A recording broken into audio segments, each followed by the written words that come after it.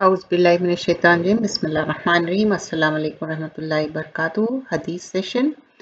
आज की हदीस, इसमें हम बयान करते हैं रसूल सल्लल्लाहु के सूरज ग्रहण या चाँद ग्रहण इससे किसी का कुछ लेना देना नहीं। ये अल्लाह की बनाई हुई चीज़ है, जो चेंजेस आते हैं।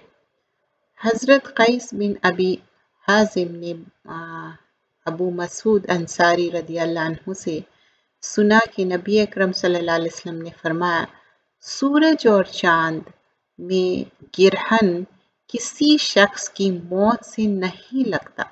बहुत सारे लोग कहते ना कि अच्छा सूरज किरण हो गया, चाँद किरण हो गया, लोगों की मौत से। इससे कोई कुछ लेना देना नहीं है, किसी की मौत से नहीं लगता।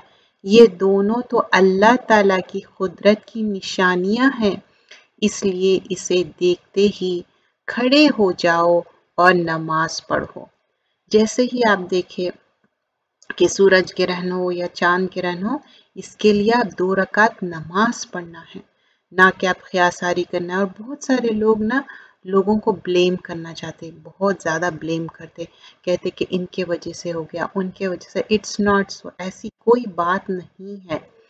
देखिए इन शमसा वल कमरा लायन की सफ़ानी लिमौती अहदिन। किसी की मौत भी उसकी वजह से मिनन नास किसकी मौत? उसकी वजह से नहीं होती। वला किन्नहुमा आयातानी। तस्निया है। दो आयतें। क्या है? सूरज ग्रहण हो, या चाँद ग्रहण हो। मिन आयतिल्ला ये अल्लाह की निशानियाँ हैं। फ़ईज़ा और जब रआई तुमुहुमा जब तुम उसको देखो। रआ क्या है? देखना।